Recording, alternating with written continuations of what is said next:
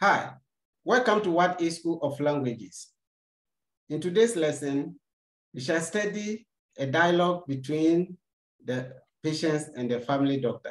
So family doctor, part two. Le médecin de famille, deuxième partie. Alors dites-moi, madame, qu'est-ce qui ne va pas? Je ne sais pas vraiment, docteur. Je me sens fatigué. Est-ce que vous avez la grippe ou de la fièvre peut-être? La semaine dernière, j'étais enrhumé et j'ai beaucoup toussé. Et maintenant, maintenant je suis faible. J'ai un peu mal à la tête. Parfois, la douleur est insupportable.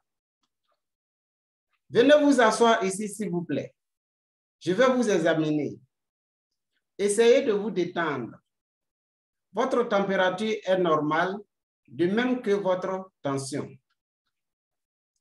Est-ce que vous dormez bien la nuit? Non, pas du tout. Je dors très peu ces derniers temps. C'est ce que je pensais aussi. Vous verrez, vous vous sentirez beaucoup mieux avec les médicaments que je vous ai prescrits. Si vous vous sentirez toujours mal après deux semaines, n'hésitez pas à revenir me voir. D'accord. Merci pour vos conseils, docteur. Je vous en prie, je suis là pour ça. This is the conversation between Madame Chido and the family doctor part two. You can still watch the video and practice it with a friend or a colleague.